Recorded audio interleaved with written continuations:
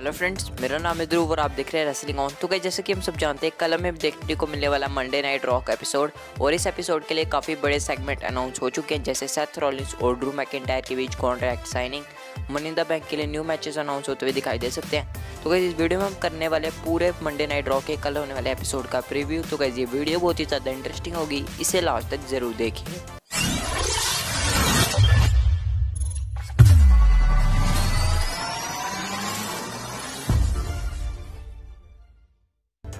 तो वह सबसे पहले बात करते हैं रॉ टैग टीम टाइटल्स के बारे में।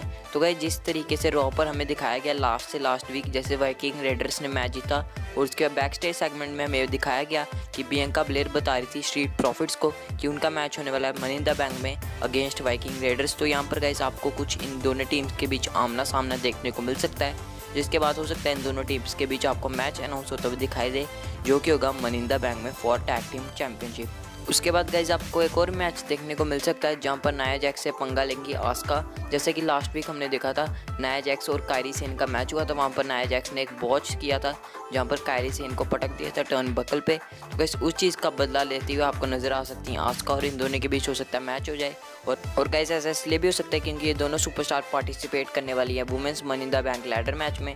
तो उसको बिल्डअप करने के लिए इन दोनों का मैच करवाया जा सकता है, और यहाँ पर हो सकता है शेना बेजलर की भी इंटरफेरेंस हो और उन्हें यहाँ पर डोमिनेटिंग दिखाया जाए, जैसे जैसे पिछले कुछ हफ्तों में वो नज़र आ रही हैं तो इन दिनों के बीच हमें कुछ देखने को मिल सकता है। उसके अलावा गाइज़ उसके अलावा गाइज़ आपको जलीना वेगा और उनकी त्रिमूर्ति, यानी एंजल कार्जा थ्यूरी और अंदरादे के साथ भी कुछ देखने को मिल सकता है। हो सकता है वहाँ पर किसी पर अटैक करें और या फिर और यहाँ पर हमें कुछ ऐसा भी एंगल दिखाया जा सकता है, जहाँ से ये पता चले कि अंदरादे को एक न्यू चैलेंजर मिलने वाला है फॉरमन इन द बैंक जो उनसे लड़ेगा यूनाइटेड स्टेट चैंपियनशिप के लिए, और उनका मैच भी हमें कन्फर्म होता हुआ दिखाई दे मनी इन द बैंक के लिए।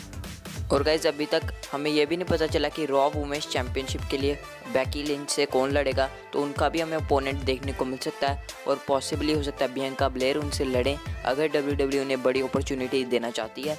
इसके अलावा हो सकता है कोई नंबर वन कंटेंडर के लिए मैच होता वो दिखाई दे, जिसके बाद वो सुपरस्टार जो जीतेगा नंबर वन कंटेंडर का मैच वो चैलेंज करेगा बैकी लिंच को। तो देखना इंटरेस्टिंग रहेगा कि बैकी लिंच का ओपोनेंट कौन होता है। उसके अलावा गाइज़ अगर हम बात करें नेक्स्ट जो बड़ी चीज़ हमें देखने को मिलेगी वो कि गाइज़ मनी द बैंक के पार्टिसिपेंट्स हैं। उनके बीच आपको कुछ देखने को मिल सकता है। जैसे कि हम सब जानते हैं रॉ से रेम स्टीरियो अपोलो क्रूज और एलिस्टर ब्लैक क्वालिफाई कर चुके हैं। और हो सकता है इन तीनों के बीच आपको खिचड़ी पकती हुई दिखाई दे, या फिर हो सकता है इन तीनों का एक सिंगल मैच हो, जहाँ पर ये जीत हासिल करें, जिसे डब्ल्यू डब्ल्यू इन तीनों को स्ट्रॉन्ग बुक करना चाहेगी। उसके अलावा गाइज़ अगर हम बात करें मेन इवेंट की, जो कि पूरी मेन हाईलाइट है इस पूरे शो की, वो है सैथ रॉनिस वजह ड्रू मैकेंटायर के बीच कॉन्ट्रैक्ट साइनिंग और गए। जैसे कि हम सब जानते हैं डब्ल्यू डब्ल्यू की हिस्ट्री कॉन्ट्रैक्ट साइन कराना तो बहाना है, असल में इन दोनों को लड़वाना है। वैसा ही आपको कुछ देखने को मिल सकता है। जहाँ पर ड्रू मैकिटायर और साथ रॉनिस पहले तो कॉन्ट्रैक्ट साइन कर देंगे, उसके हो सकता है इन दिनों के बीच हमें कुछ ब्रॉल वगैरह देखने को मिले।